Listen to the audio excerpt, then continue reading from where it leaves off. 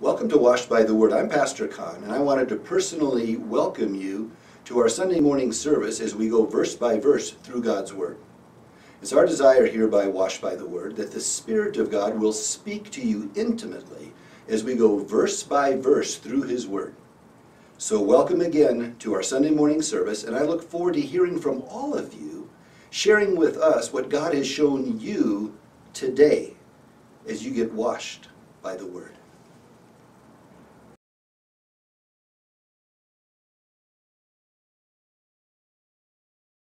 We're going to be in Luke chapter 2. And we're going to do a little intro before we get into Luke 2, and then we're going to walk through Luke 2. And my whole goal for the study today is to give you things that you have not heard in the Christmas story, but that is very true. And that's always hard to do when you have a passage this familiar. So I've been reading in things called Targums, which are really goofy. We'll talk about that in a little bit. Doing a lot of Targums and Mishnahs, and it's been fun.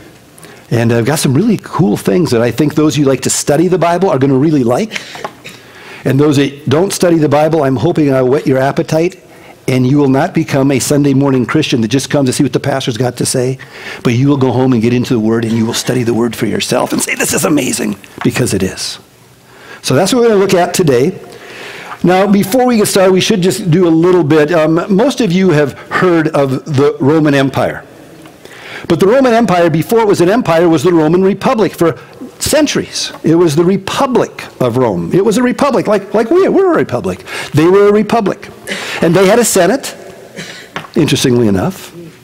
And they had military leaders who would serve in leadership, and they had political leaders who would rise up and serve and all. And they had, they had it going on. Well, then a guy came on the scene because what happened is the republic existed for quite a long period of time. It started to get kind of weird. They, they, had divisions in the republic, and there were wars, and there were things going on, and all this. And a man rose to the forefront. His name was Julius Caesar. And Julius Caesar started to take control. Well, he had a sister. And Julius Caesar's sister had this little grandson that grew up. They called him Octavian. Gaius Octavian. Probably called him Guy for short, I don't know, but you would think. But anyway, they, they, they had this guy named Octavian. And as Octavian grew up, you can imagine, he says, my grandma, my great uncle, Julius Caesar. You can imagine. But Octavian, as he grew up, he had that it factor. He was just one of those kids, you know. Some of us have grandkids. Our grandkids have that it factor. You know how that is. But he had it. So Julius Caesar takes him in, his great nephew, and starts to train him and raise him up. He not only raises him up, he goes, He's my heir. He's going to be the guy, Octavian, because this, look at this guy. He's got everything you look for in leader. He's got it. So Julius Caesar continued to work with the Republic and, and started to do things in the Republic, and people started to go, this guy's got some stuff. And he made a, a, deadly mistake. You know the story of Julius Caesar. If you've ever read Shakespeare or just a history book, you know. He started to think that he was all it. And he says, I am this dictator, if you will. I am it. It's no longer republic, it's me. Remember Oh, Brutus? You too, Brutus, remember? And there it is, Brute. Oh, that's perfect. That's exactly it. And he was assassinated. The Senate assassinated him. When that happened, three leaders came and rose to the forefront. Octavian, he was the heir. One of the generals, Mark Antony, not Mark Anthony, not the guy whose ship just sunk in Miami, not that one, but Mark Antony. And Mark Antony and Octavian, and then another dude, uh, uh, Lepidus, whatever. He's gonna he's gonna die soon, so don't worry about him.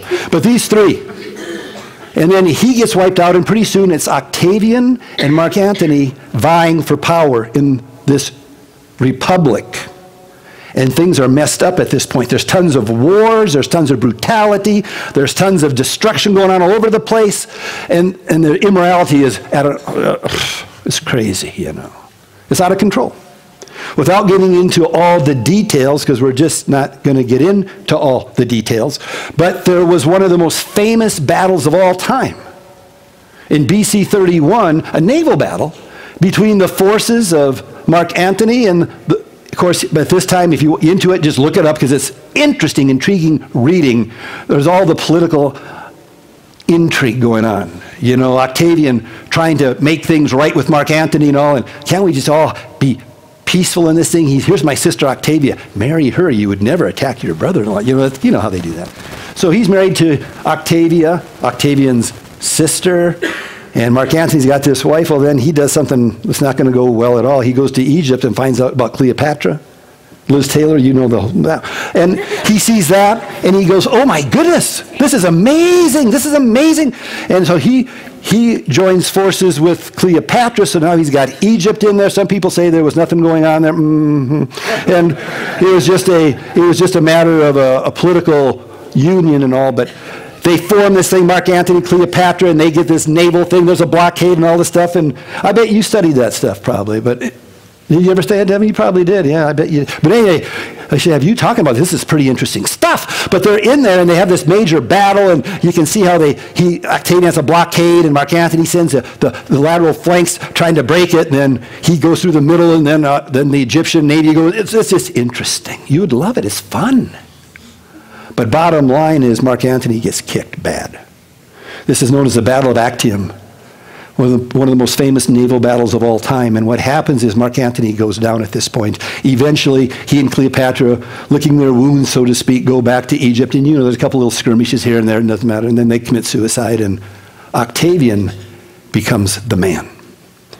But Octavian has got some serious brains. He looks at what his great uncle did, Julius Caesar. I'm it.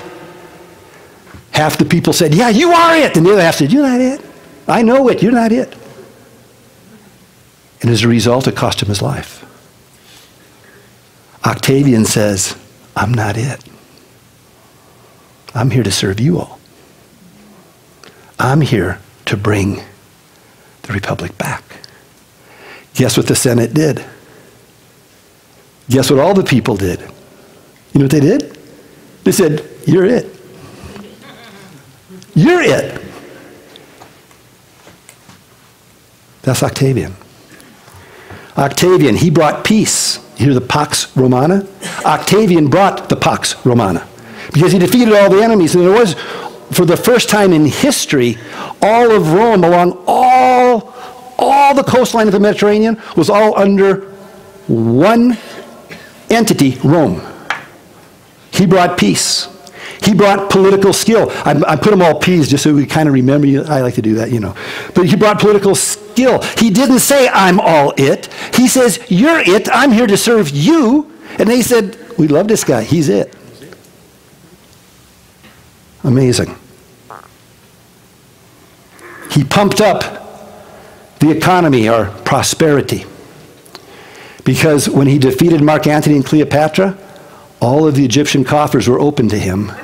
He took all the Egyptian wealth and he funded his military. The Pax Romana now had funding, and the Roman Republic had what to eat, shall we say. And because of that, he was extremely popular. It went from his great uncle's rating 50 50 to 90 10 type of thing. It skyrocketed. Octavian. He is probably the most famous leader of Rome. We all know about Octavian. For hundreds of years, Rome had prided itself on being a republic. But Octavian said, We're no longer a republic. We are an empire. And the people say, Yeah, we is. That's good. And then the Senate called a meeting and said, You know what, Octavian? We're not going to call you Octavian anymore. We're going to call you Caesar.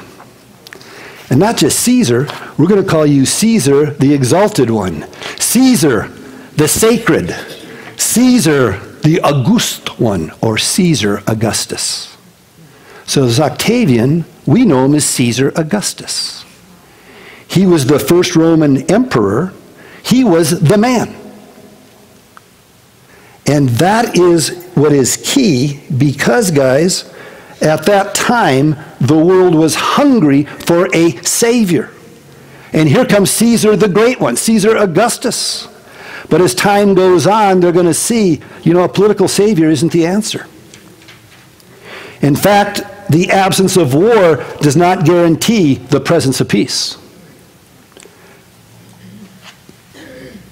It's been said at this time the emperor may give peace from war on land and sea, but he cannot give peace of heart, for which we all yearn more than ever,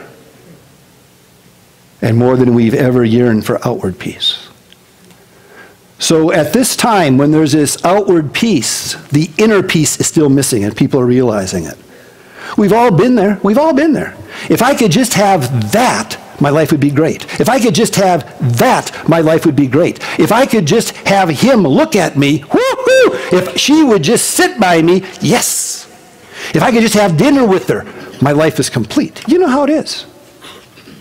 We just think if we can get that one thing. And then we realize, well, I got it, but I still have that emptiness here. That's the world as we get into Luke chapter 2. In fact, the Bible, remember, the Bible records historical events. And we know the history is true because the Bible confirms it. I'm so sick and tired of people saying history confirms the Bible. No, the Bible confirms history. And here it is. And it says in chapter 2, verse 1.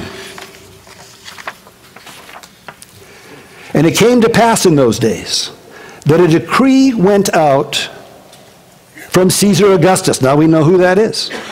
That all the world should be registered. It's interesting. A decree goes out from this one man in Rome, which is like a long ways away in these days. A decree goes out to all the known world at that time. We're talking the empire, the Roman Empire now. This decree, decree goes out by one man, and people everywhere follow it just like that. Just like that.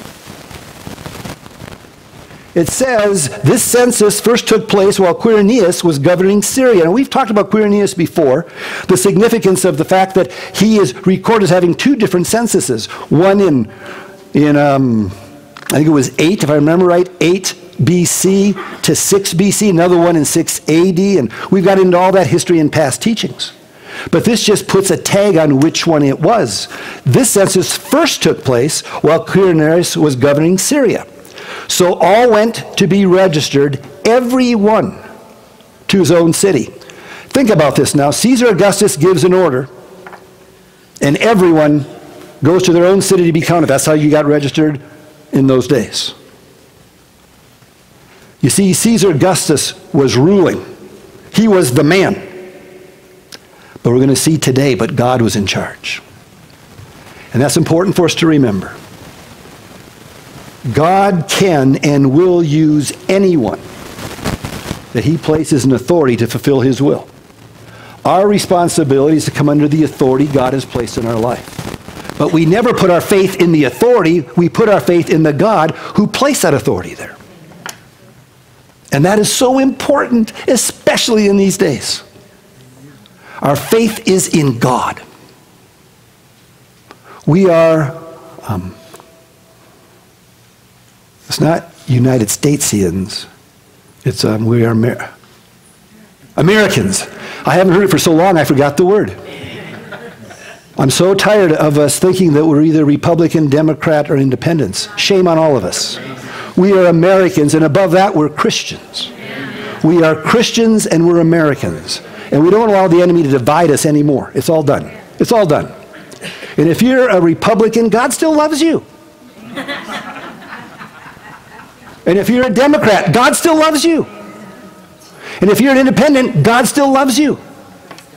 I spent this last week really looking at the scriptures, and I can find nowhere in the scripture that says God is a Democrat or a Republican. I'm trying to find where he says God's an American. He's not even an American, guys.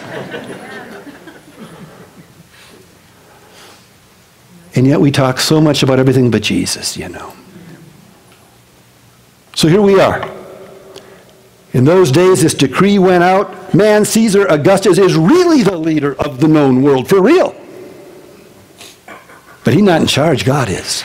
And things haven't changed. God's still in charge. God is in charge. Oh, that we had the zeal for God the way we have zeal for our political parties. Could you imagine what would happen if Christians stood up and said, I'm a Christian, and took the same strong stance we take for our political parties? Could you imagine what would happen in this nation? Besides tremendous heart attacks all over the place. What, the Christians are standing up? What? But could you imagine? Could you imagine? It'd be pretty sweet. Pretty stinking sweet. Well, it was into this world where there's all this stuff going on. There's peace, but it's enforced peace. You will do as I say, or we'll kill you. That's what was going on. That's what's going on right now, and this is the world that Jesus was born into. And that's what we'll be looking at as we walk through the text.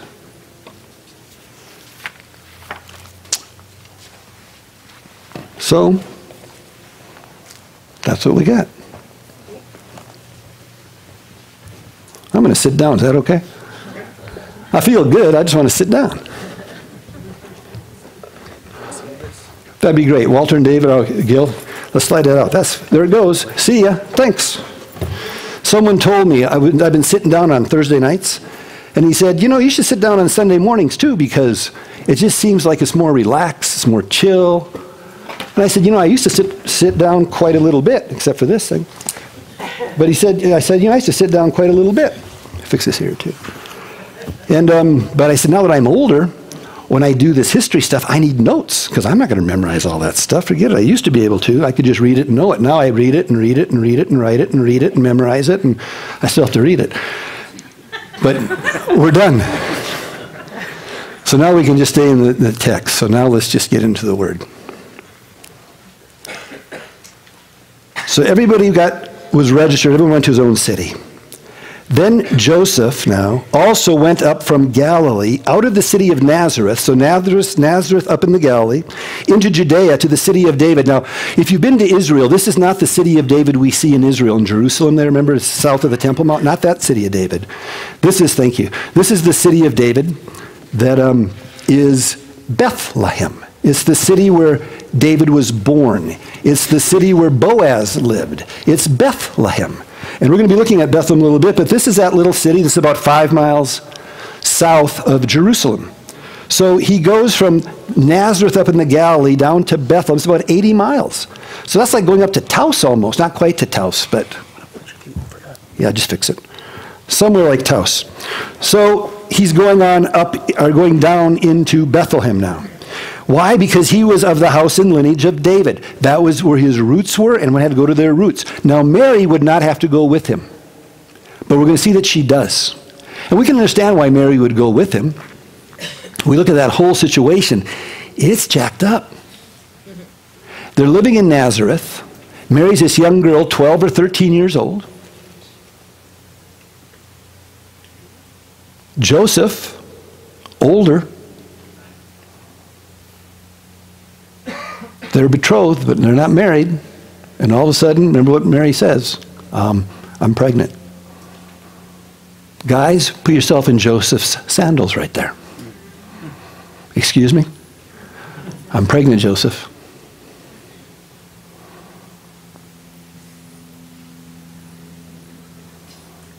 How about Mary's friends? You're what? How about the parents? This is not good. This is not a good time right now. And then Joseph has a dream, remember? Had a dream.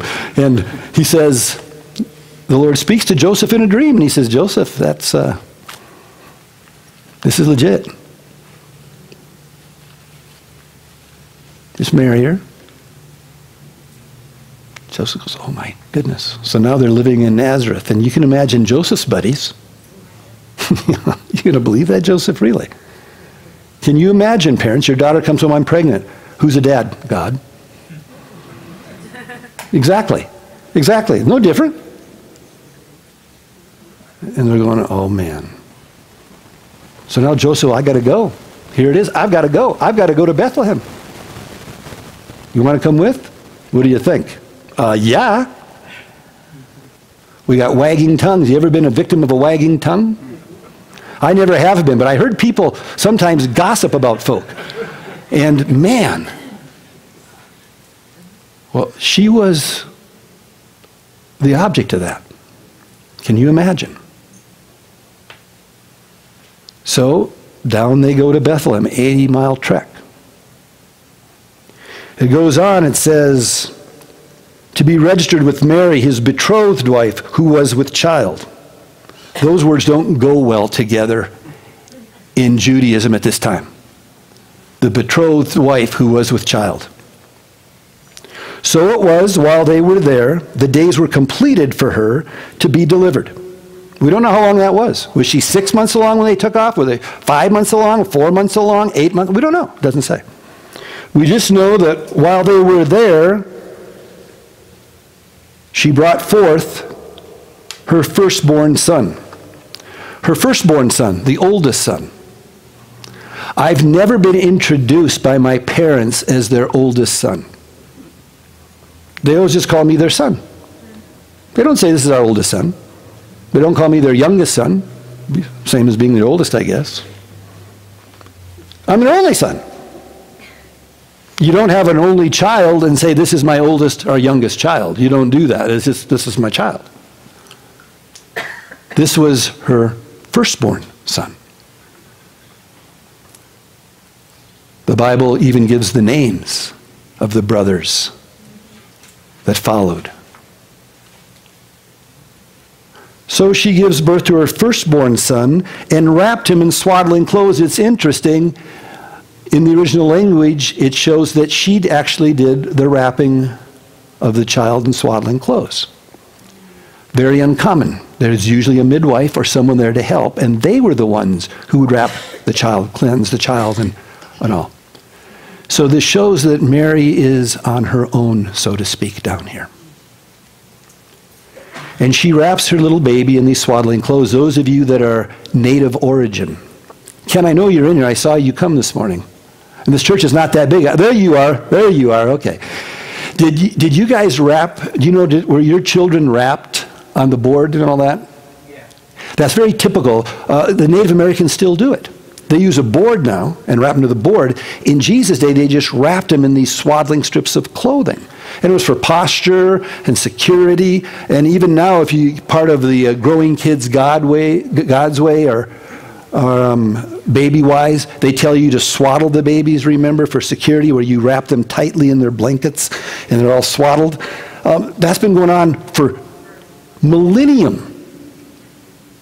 That's just what it is. It's, and that's what happened here with Jesus. She wrapped him in these cloth strips. But I found it so interesting that when Jesus was laid in the tomb, he was wrapped in cloth strips. I just found that interesting. I also found it interesting that as time has come on, you know, in America, we have our manger scenes. We all know what the, the nativity scene looks like. We, we know it's a, a wooden structure with straw we, we've seen it. A little cross, a little manger that the baby's laying. We've seen that. And then we go to Israel and we go, wait a minute, what are you talking about now? What do you mean there's no trees here for, what, what, are, you, what are you talking about? What do you mean it's stone manger? What do you mean it's just a rock carved out? What are you talking about? Well, there it is. There's Solomon's manger. We even see him, remember, up in Megiddo. There they are. That's a manger. That's a manger. You mean Jesus was put in a, well, yeah, well, that's not what Macy's says. You know, so now we got to believe, we're going to believe Macy's, we're going to believe, you know, what it is. Go look at it, there it is. And also, the katilima, the katilima, the inn, or the place for animals, or the place to rest and set aside for. With this manger, this feeding trough. And as we look in the fourth century, we see Constantine's mom, remember, a Christian woman, now having access to the Holy Land, goes down and starts building churches all over Israel. And she comes to Bethlehem and she starts to talk with people from Bethlehem and say, Well, where was it that Jesus was said to have been born? And they said, Well, everyone knows that's that cave right over there. It's very close to the actual time. It's, it's 250, 300, 300 years later. And it's that cave right there. Now, was that the cave? Who knows? But that's where they typically had their animals fed, or in these caves. So she builds a church over this cave in Bethlehem, calls it the Church of the Nativity, makes this fancy mosaic, remember, of the three wise men on that mosaic. Years go by, and Muslim comes into the Holy Land. And as the Muslim leaders come in, they see these Christian churches all over the place. They destroy one after, they just destroy them all. She had built all these churches commemorating different things. They just, they're gone. They come to Bethlehem, another church, let's destroy it. They're getting ready to destroy the church. And wait a minute, look at that mosaic. That's us up there. She had the men, wise men from the east and said, That's us. Let that church stand. It's still standing today. And because of that, many people believe this could be the actual cave where Jesus was. But If it is, it isn't, who knows? But what's interesting is it was in a cave. When we go to Jerusalem, we see the empty tomb. Not the empty tomb, an empty tomb, right near Golgotha right there.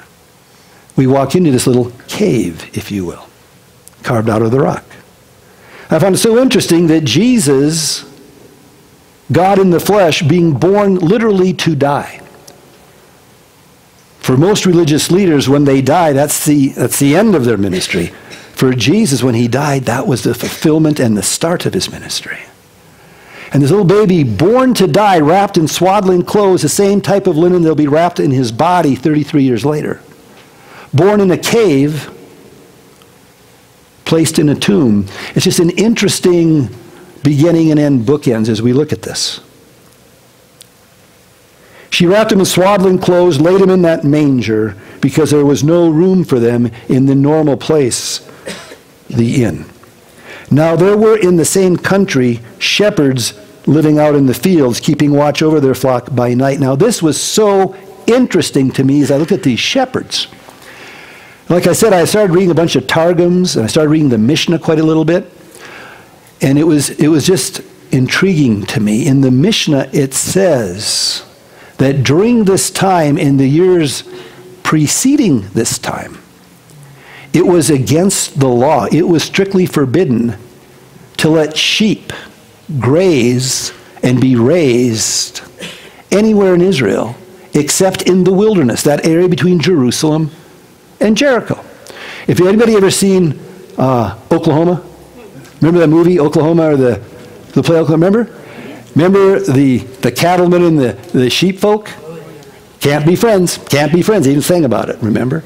Because sheep do so much damage. They they chew down so close to the ground that there's well, back in these days, the sheep got to be in the wilderness. Don't bring them in here grazing. That's something. One exception, it says in the Mishnah, and that was the temple sheep. Sheep that are being raised for sacrifices and Passover, they could be raised elsewhere, not in the wilderness. That is the basis when you hear, well, these shepherds could quite possibly be temple shepherds. I've heard that for years. I've taught it for years. I wanted to know why. That's why. Because of the Jewish forbearance, forbearance, that's not the right, forbidding, would not allow sheep to be grazed anywhere except in the wilderness, unless they're temple sheep. So the fact that there are sheep in Bethlehem, temple sheep. So these shepherds were taking care of temple sheep, it appears, or Passover sheep, it appears. But then I started reading these Targums, and the Targums are interesting because the Targums were commentaries written for people who could not read Hebrew, either because they were illiterate and the Hebrew language is starting to go away a little bit, so they would comment on the Hebrew scriptures. But there's an interesting, interesting passage that I want us to turn to in Genesis chapter 35.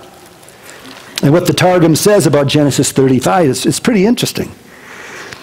As you know, Jacob has a bunch of children now. He's got 11 of them. And his wife Rachel is pregnant with the 12th, and they're, they're on the road. And it says in verse 16 of Genesis 35 Then they journeyed from Beth, Bethel, and when there was but a little distance to go to Ephrath, also known as Bethlehem, Rachel labored in childbirth, and she had a hard labor. Now it came to pass when she was in hard labor that the midwife, even back here they had a midwife, you see, that the midwife said to her, Don't fear, you're going to have this son also. and so it was, as her soul was departing, for Rachel dies in childbirth, that she called this little boy's name Ben Ani, or son of my sorrow. But Jacob looks at this little guy and he says, No, no, we're not going to call him that. He says, We're going to call him Benjamin, which means son of my right hand. So the son of the right hand born in Bethlehem. So Rachel died, was buried on the way to, to Ephrath, that is Bethlehem. And Jacob set a pillar on her grave, which is the pillar of Rachel's grave to this day. Then Israel, or Jacob, journeyed and pitched his tent beyond, here's the key, the tower of Eder. And that's not we just read about whatever. But there is a Jewish Targum, a commentary on this verse, that talks about this Tower of Eder and how the Tower of Eder is just outside of Bethlehem as you go towards Jerusalem, interestingly enough. And that this Tower of Eder becomes a watchtower and what's real interesting is they tie in the Targum Micah 5:2 that tells us that the Messiah will be born in Bethlehem to this passage and says the Messiah will be born in Bethlehem. And according to Jewish Targum, Messiah, his arrival, will be announced at this Tower of Eder, the same Tower of Eder that Jacob went to after Rachel died, giving birth in Bethlehem to the son of my right hand. Just an interesting thing. Now, why is that important? Because of because Luke mentions it, which is amazing to me. Now, there were in the same country shepherds living out in the fields, keeping watch over their flock by night. You kept watch from the tower. We always picture the shepherds out there with the sheep. No, no, they're with the tower. They're in this tower of Eder. And while they're in the Tower of Eder, remember what Jewish tradition was looking for? They were looking for the Messiah's arrival to be announced from that tower. Well, they're in that tower. And it's night, it's quiet, the stars are out. The shepherds are in the tower watching over the sheep looking for predators. And all of a sudden, behold, remember whenever you see behold, you think of a three letter word. What is that word? Wow. They're there and wow. Whenever you see behold, it's wow. And behold, an angel of the Lord stood before them. They're going, What? and the glory of the Lord shone around them. Do you realize how many hundreds of years it's been since the glory of the Lord has shone around anybody in Israel? Remember the glory of the Lord? We saw it in the wilderness wanderings when God would just show up. We saw it filling the tabernacle so much Moses couldn't go in. We saw it filling the temple, but then we saw it leaving the temple and going to the Mount of Olives and then leaving, and the glory of God was gone for hundreds and hundreds of years. And now all of a sudden, out here at the tower, or the Migdal, they call it the Migdal of Eder, or the Tower of Eder, all of a sudden, there's the glory of God and an angel. And they were, it doesn't even say they were afraid. Says they were greatly afraid. Literally, it's they feared a great fear. They are freaked out, is what's happening. These are some rough dudes. And they are freaked out as the glory of God lights the sky with this angel. Then the angel said to them, again, we see that same phrase don't be afraid.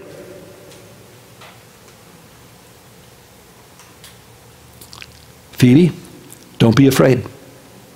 Are you afraid right now? No. So I, I don't tell her not to be afraid because you're not afraid. You only tell someone not to be afraid if they're afraid. So these guys are afraid. And the first thing he says, don't be afraid. And they go, they're freaking. And they were greatly afraid. Then the angel said, Do not be afraid, for wow! I'm bringing you good tidings of great joy, which will be for all people. And we, we hear that and we read it. We read it every year. And we go, Isn't that fun? Let's take a look. What does that mean? He says, Don't be afraid. I'm going to bring you good tidings.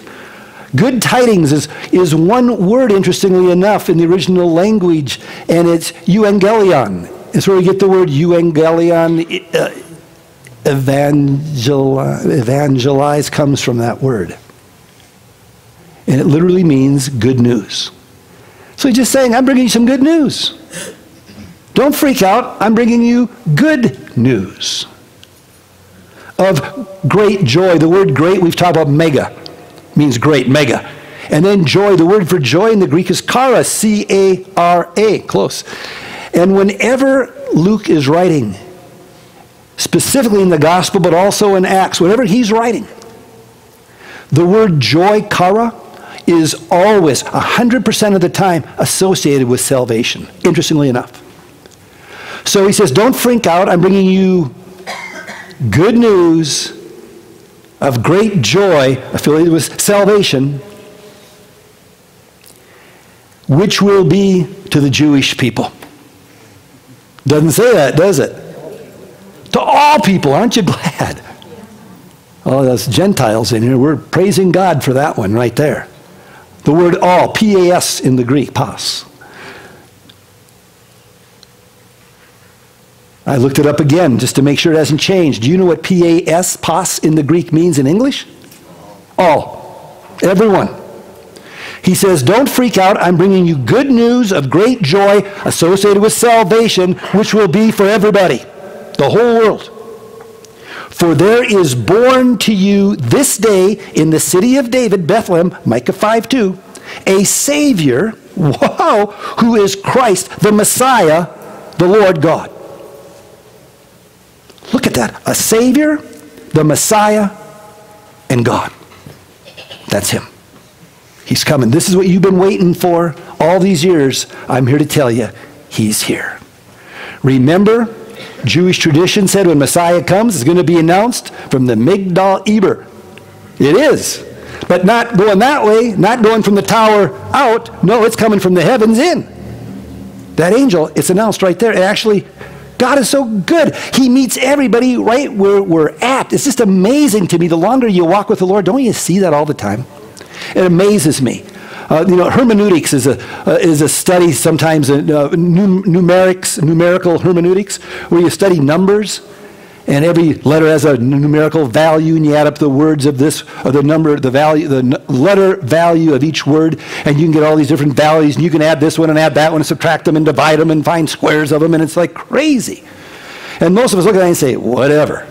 Man, that is weird. That's weird stuff right there. I, I don't believe that. You don't have to. It's not for you. When I was in Santa Fe, we had so many from the lab. So many engineers and scientists from the lab that were coming to Christ and they were driving down from the hill, driving into the church in Santa Fe. Over a hundred of them, so much so that we did a study up uh, on Monday nights in Los Alamos because there were so many coming down Sundays. We'll come up to you on Monday. And it was amazing. But you talk with these guys. They got into numbers. I'm here to tell you, they like numbers. They like numbers better than letters, I think. But they were just getting blown away by the numerics in the Bible. And God was reaching them with numbers. Now, most of us say, we don't care. But if you're a numbers guy, it shows again the validity of Scripture that this is not some man written book.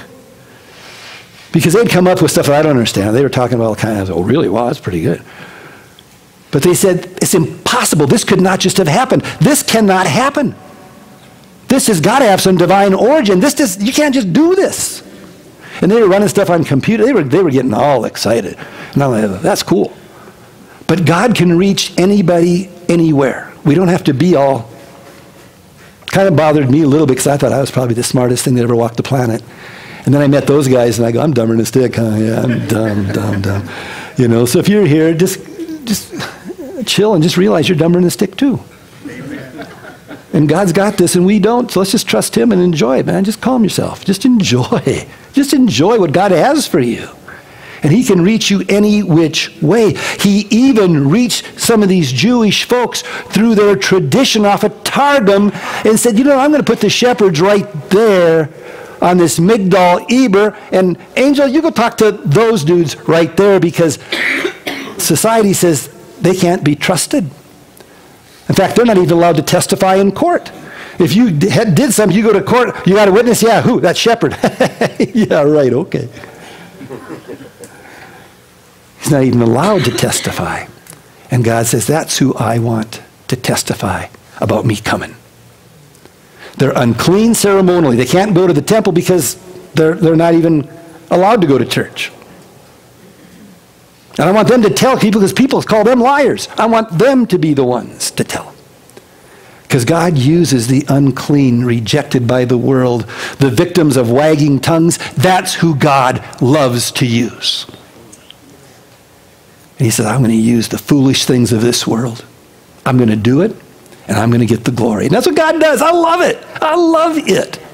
So if you're here today and the world looks down on you as a has been loser, man, are you qualified.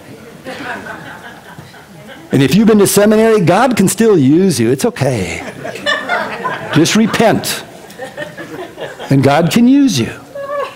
Anybody here want to admit they've ever gone to Bible school or seminary? Can I see your hand? Anybody ever admit it? God can still use you. He can. He can. He can. It's all right. It's all right. But don't think you're all that because you went to a school. really? Come on now. I've taught that for years, and people say, that's just because you've never been to it. No, I have been. I've been to seminary. Yeah, I've been there. I got my degrees. I've repented. now it's your turn. Don't trust in that. There's going to be a lot of people with Bible school education in hell. But there's going to be a lot of Bible school education in heaven. But it's not going to be based on them going to Bible school or seminary. It's going to be based on placing their faith in Jesus Christ. And that's it. But the more education you get, the more opportunity to serve others. Not to have people serve you, but to serve others. So, shepherds, probably temple shepherds. Because all the other sheep are out in the wilderness. Watching over their flock, for sure, by the Migdal Eder. The place where one day it was going to be professed Messiah has come. And it was professed there, but it wasn't from the people in the tower, it was to the people in the tower, interestingly enough. God even meets the tradition and the cultural expectations of the people. And this will be a sign to you. You're going to find a babe wrapped in swaddling clothes, lying in a manger. And suddenly there was with that angel a multitude of the heavenly host praising God and saying, A multitude of the heavenly host. I would like us to turn over into uh, the book of Revelation, chapter 5. If you were here for a Revelation study, we just finished it up a couple months ago. We spent two years in the book of Revelation. It was slow. But in there, you might remember in Revelation chapter 5, verse 11 is he has this vision of being up in the throne room of God in chapter 5. Verse 11 says, Then I looked and I heard the voice of many angels around the throne and living creatures and the elders. And the number of them was 10,000 times 10,000 and thousands of thousands. And we said at that time, when this was written, the largest number that could be written out was 10,000. Interestingly enough. And what does he say? 10,000 times 10,000 and thousands of thousands. In other words, couldn't count them all. There were just so many innumerable, unfathomable, inconceivable. You just could not get it. You couldn't get it. So you look at this, and, and he, he says that they, they come, there's so many of them, it says, where am I? In verse 13. And suddenly there was with the angel a multitude of the heavenly host. So many, a multitude. There's just so many of them. Can you imagine you're in the dark and you see the stars twinkle, all of a sudden there's this angel in the glory of God, and you're freaking out, and he says, Messiah is coming. You go, oh, Messiah is coming. Are you kidding me? And then all of a sudden, angels, a multitude of them, everywhere. And they're praising God, and notice they're not singing that Christmas song that we sing, Hark the Herald Angels Sing. We should be saying, Hark the Herald Angels Say. Because something interesting in the New Testament, you never see angels singing. They're always saying. I wonder how many times they look at us and go, Why aren't these humans singing? They would do anything to praise God with singing. And they're stuck saying. I don't know. This is just me talking. To, it's just me, 100% me. Ezekiel 28, remember, Lucifer's the worship leader. And I just wonder if from that moment on they could say but not sing. I don't know. I'm just wondering. But I do know we we can sing. But yet, how many times don't we sing? The enemy gets in our ear. Says, you don't sing well, don't sing. You're going to sing off key. Well, duh. Of course we're going to sing off key. That's what we do. That's who we are. But we just sing. You've all heard it said, make a joyful noise. Just sing. Just sing. It's amazing how freeing it is we just sing. It's wonderful, you know. And if you want to really get free, I challenge you to do this. It, it works. Anybody here ever been to Old Town? Put them up, leave them up. See, it works. Try singing in that position. It's amazing. Just lift your hands. It's amazing. It doesn't mean to be flopping around on the floor. You can. It won't happen. But you can raise your hand. It's okay. It's the Hebrew prayer position. Just lift holy hands, the Bible says. Just do it. It's okay. Try it. It's so freeing, guys. To sing and, and raise your hands. You see, worship isn't a warm up for the word. No. We're worshiping the Lord. We're worshiping the Lord. Huh. Any rate, here they are, and they're praising God and they're saying, Glory to God in the highest. That literally means in the heavens. So they're saying, Bring glory to God, praise God. Here's glory to God in the heavens, and on earth, peace. Peace on the earth. The trifecta here. Hmm. Holy, holy, holy. where they say? Glory to God, peace on earth, and goodwill toward men, which is a really poor translation of what that says. Most of the Bibles that you have, if you look down at the bottom, you're going to see a little thing will say 214. Will say the NU text reads, toward men of goodwill, which is a much better translation. But what's interesting, well, what does that mean towards men of goodwill? What, what is that? Well, first we look at Romans 5 1, because he says there's going to be peace on earth, guys, and that's kind of key. In Romans 5, verse 1, take a look there. This peace. Therefore, verse 1, Romans 5, verse 1, therefore, having been justified by faith, we place our faith in Jesus Christ. He sees us just as if we've never seen, sinned. It's a one time event. We've been justified. Therefore, having been justified by faith, we have peace with God through our Lord Jesus Christ. And way back here at the announcing of his birth, the angels come, and there on this Migdal Eder stand these temple shepherds, unclean as all get out. The angel says the Messiah is coming. You're going to see him in a manger wrapped in swaddling clothes. And the angels all, oh, there they are. And they say, Glory to God in the heavens. Peace on earth. How's that? Because of Jesus. Because of this baby, there will be this inner peace. Not the outer peace, no war. True peace. And then notice what he says and goodwill toward men, or literally toward the men of goodwill. And even that, we, the men of goodwill, take a look at Luke chapter 3. The next, just turn the page over from Luke 2. Jesus is getting baptized. It says, When all the people were baptized, it came to pass that Jesus, in verse 21, also was baptized. And while Jesus prayed, the heaven was opened. Here we go again. And the Holy Spirit descended in bodily form like a dove upon Jesus, and a voice came from heaven which says, You're my beloved Son and the exact same words afterward In you I am well pleased. That's exactly the same words that we have in the New King James goodwill toward men. It's basically, I'm pleased with you. So, what is it saying? Glory to God in the highest on earth will come peace, and God will be pleased with you. How do we have the favor of God? How do we find the perfect will of God? We find that peace that passes all understanding, that peace that comes from placing our faith in Jesus Christ. And that's the announcement of the angels here. So it was when the angels had gone away from them into heaven that the shepherds said to one another, Let us now go to Bethlehem and let's see this thing that has come to pass, which the Lord has made known to us. And they came with haste. I'm not going to say anything about the Christmas rush, I'm not going to say it. And they came with haste and they found Mary. That word found is finding after much searching. So these shepherds are all over Bethlehem, and you can imagine the middle of the night looking for a baby in a manger. Have you seen a baby in a cow trough anywhere? That's, that's the question. Can you imagine? And they found Mary and Joseph and the babe lying in a manger. There he is. Now, when they had seen him, they made widely known the saying which was told them concerning this child. What was that saying? We just talked about it. Glory to God in the highest, peace on earth, and goodwill toward men. There's, they were told that. So now they're telling people, hey, they just told us Messiah is coming and this is what's going to happen. They're, they're going. Why did they do that? Because they saw Jesus.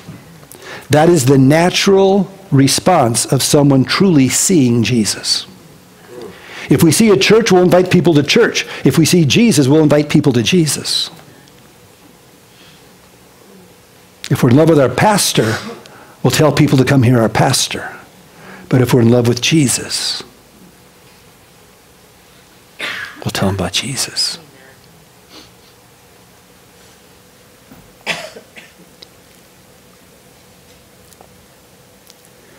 And all those who heard it marveled at those things which they were told by the shepherds. But Mary kept all these things and pondered them in her heart. Can you imagine this young girl? She goes, Wow, what a rush this year's been. I'm pregnant, Joseph. You don't have to believe me on this one. I'm going to pray about that. He comes, well, I believe you. Tongues are wagging. Here she is. Then the edict comes. Babe, we got to go to Bethlehem. She goes, Whoa, Micah 5 2. The angel told me this is the Messiah. Joseph, you don't think. We're going. Let's go, babe. Can you imagine? Can you imagine? So now they are all by herself, and here comes this baby. She has to swaddle the baby. She places the baby, the only place she had was in a, a trough. And all of a sudden, these shepherds come in. They say, We were at the Migdal Eder. They know that they're Jews. They know all about the. That's where the announcement of Messiah is going to come. And these angels appeared to us and said, We'll find the Messiah right here. She's going, Hmm. God's in control, man. You better know she knows it. Caesar Augustus says, We got to go. He has no choice because God is the one that put that thought into his little pea brain. And I know he had a pea brain because he's a human. None of us have a mind like God. No one. God says, My thoughts aren't your thoughts. My ways aren't your ways. Our God is so much greater than us. We just got to calm ourselves and trust God, you know? But there's Mary. She's looking at all this going, oh, my word, God is real. You ever had that moment where you just stop and ponder the ways of God because you see his word and his prayer being answered and you go, no way. You ever had that? And you ponder that? Isn't that sweet? It's better than going to church. Anybody can go to church. But if you really know Jesus and he speaks to you directly and you see him fulfill his promise to you directly against all odds, and people are saying, all okay, but it happens, and you go, it's real. It's amazing what that does. It's amazing what that does. And you can't help but ponder. When we go to Israel, it happens to me almost every trip. We call it that moment. It's that pondering time where there you are, and all of a sudden it's very real and you read about it and you study about it, you see pictures of it, but then all of a sudden you breathe it and you see it and you go, oh my word, this is real. And it's real. And it's amazing. It's amazing. Mary pondered all this in her heart. God spoke about the coming of the Messiah at the Migdal Eder, Joseph. Can you believe it? He did. He said these things. He said it was going to. It happened. And we're in Bethlehem. Look at Micah 5 2. It says it right. I'm reading it right now. This is crazy, Mary. You ever had that with your wife, guys? You lay in bed and something crazy is going on, and you just go, Can you believe this? I can't believe it. Oh my goodness. Are you asleep yet? Not yet. I can't sleep. Me? I bet they didn't sleep for five months. Can you imagine? Can you imagine? Amazing. Left all these things and pondered them in her heart. Then the shepherds returned. Where did they return? You know where they went back to doing? Watching them sheep. You know why they did that? That was their job. They saw Jesus for real. They had a personal encounter with Jesus, and then they went back to work. But what did they do? They glorified and praised God just like the angels were doing. Remember? Glory to God in the highest. They were praising God. Now they're doing it. The angel sets a template. This is what you do. Now go back to work and do that. That's what Christians do. Wherever we are, we glorify and praise God.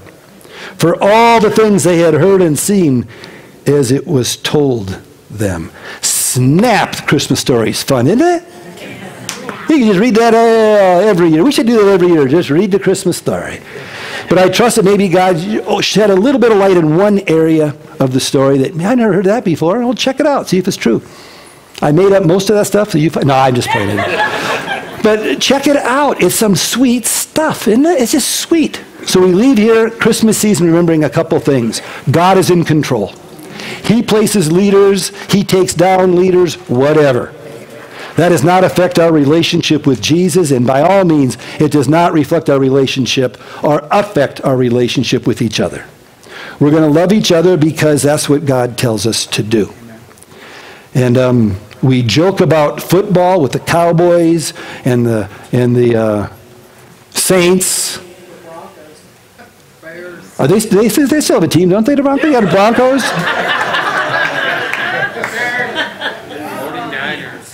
There we are. You see, we got all that? But we laugh and we joke and we still love each other. Sharon's a Packer fan, but it's okay. I'm still going to love her. It's just what it is.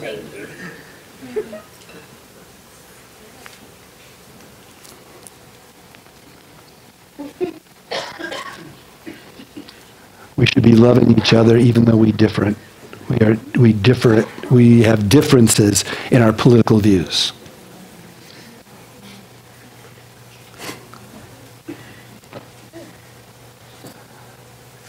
Someone came up to me. I didn't come up to me. I was having, I was eating with them. He said, "Well, you're a Democrat." I'm not a Democrat. Sorry. Then someone said, "Well, you're a Republican." I'm not a Republican. Sorry. I'm an independent. You know what that means? I don't have to vote in any of the primaries. nice. But I don't identify with the political party. I identify with Jesus.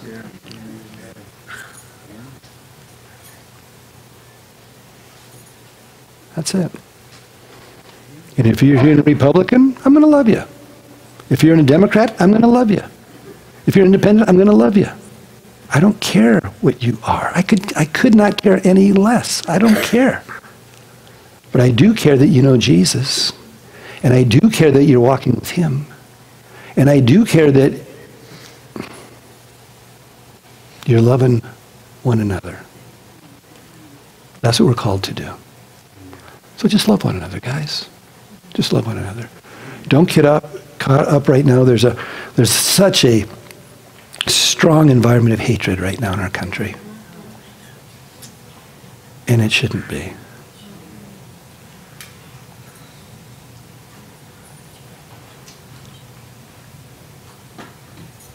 Connie and I um, spent about an hour with a good friend of mine. He's a uh, Eastern Orthodox priest up in Santa Fe, born again, not an evangelical. We hadn't seen each other in 25 years. And Connie and I are driving, and I see this Eastern Orthodox church. I go, babe, I wonder if that's Betancourt's, because he was going to start one. I wonder if that's his. So we just pulled in there and there it was. Father John Betancourt on the door, you know. Little phone number, it's all locked. Cars are there, but it's locked. So I just dialed the number and say, his name's Ralph. He, he changed his name when he became a priest to Father John. I can't call him Father John. So it's Ralph. I say, hey, Ralph, this is Con. So I haven't talked to you forever, man. We're in town, and I'm just going to stop and say hi. Um, here's my number. Call me. About an hour later, we get this message. So, oh, man, I'm leaving town in about an hour. Can you guys come to the church quick? I hustled over there hung out with him for an hour. It was so fun. So fun. Eastern Orthodoxy, they do not see themselves as evangelicals. They're Eastern Orthodox. Uh, these are the ones that came up with the Council of Nicaea and came up with the Council of Chalcedon. And their, their doctrine is spot on in so many areas. And of course, there's always that issue of the veneration of icons and all that goes with that. When he was an Episcopalian priest when I knew him, and uh, he was thinking of either becoming a Calvary Chapel pastor or an Eastern Orthodox priest. He wasn't sure which way he was going to go. He went for the priest. And he knew I'd go to Bulgaria a lot. And I told him back then, I said, I'm going to be going to Istanbul this trip. He said, Oh, man, pick up an icon for me. I said, An icon? I said, No, no, no, you, Ralph, icon. But I didn't say it. But so he, sorry, sorry. But so I, I did, I did get a, I did get a, sorry, I did pick up an icon for him. He was so excited about that icon and all. But any rate, he said, I can't believe you called me, Kon. This is crazy. About six months ago, I, whatever happened to Kon? He just, where, where did he end up, I wonder? So he Googled our name and got to our website, and he went on to the um, teaching section, and he just kind of scrolled around and he just picked one. Boom. I don't know which one he picked. But he said, I started listening to it. He goes, Yeah, that's him. That's how he used to teach because he used to take my tapes and listen to my tape slot I know. And that's him. He's still teaching the same way. That's great. Just listening. And of all those teachings that we have on there, he picked the one where he's listening. And I said, I had this friend. He was debating if he should go into Eastern Orthodoxy or into Calvary Chapel. And he decided to go in Eastern Orthodoxy. He wanted me to get an icon, so I went and got an icon. And I was sitting in my favorite restaurant at that time, Tecolote, up there on Cerrillos, having breakfast. And in he walks with his Eastern Orthodox garb on. And he walked in, and I was wearing my Calvary Chapel outfit. I had shorts and a muscle shirt and long hair. And, and he walks in, and I see him, and I go, Ralph. And he's with a couple Eastern Orthodox guys. And he goes, Kon! And we jump up and we bear hug each other. This is 25 years, or 22 years ago. And we just bear hug one another and we're laughing and talking and it's good to see him. And I said, I got the icon for you. Like, oh, that'd be great. Talk, talk. Well, I taught about that. And of all the teachings we have online, how many do we have online? A bunch. He got that one. And then you start talking about Eastern Orthodoxy. So it might have been the church history one. I don't know how he got it, but he says, and then you start teaching about Eastern Orthodoxy. He says, and evangelicals, they don't understand. But you were teaching it right. How did you teach it right? And I said, well, I'm a church history guy. Yeah, it was right. And he was so excited. And it, we just had the most wonderful time. He had, we sat and had tea together. And I gave him my testimony from the time I left Santa Fe up until now. And talked about the kids. And we just had a blast. And I said, Ralph, he just smiles. I, I can't call him. My Bible says, call no man father. I can't do it. I'm sorry. So I said, Ralph, I said, would you ever come to Santa Fe and just teach? Or, uh, thank you, Albuquerque and teach? And he says, in your pulpit? I said, yeah, it'd be great. I would love to. And I said, I'll have you come out on a Thursday night sometime. I'll announce it. And just tell us about your testimony in Eastern Orthodoxy a little bit, but just tell us about you. So it's coming. And when he comes, if you come here and you see this priest up here with his big beard, outfit, little hat on, just, oh, you must be Ralph. And that'll be great. And uh, he's awesome. He's a wonderful, wonderful dude. And he'll be here one Thursday night. And if you don't come Thursday night, you're going to miss a uh, once in a lifetime opportunity. So just come every Thursday. I won't tell you in advance. but it'll be good. It'll be good. But um, that's what we got. I don't even know where that came from, but at any rate, school. So, God uses whoever. Bottom line is we're just going to love one another. And we can even love an Eastern Orthodox priest. Because he's going to be in heaven one day. He knows Jesus for sure. For sure. There are Roman Catholic priests that know the Lord. I met some Baptists that know the Lord. I have. I've met some Baptists that know the Lord. I've met people at Calvary Chapel, and some of them know Jesus. And our prayer is that at least two or three of us in this room will know the Lord too. Just because you come here doesn't mean you know the Lord. It's a personal decision to follow Christ. And that's what we're going to be doing on Tuesday night, is giving people an opportunity just to talk about Jesus. We don't have to lead them to Christ. We're just going to love them and tell them about Jesus. And the Spirit of God will reel them in. So we're just going to tell them about Jesus. Don't miss out on this opportunity just for nostalgia. Don't do it. Get your opportunity to tell people of the Lord.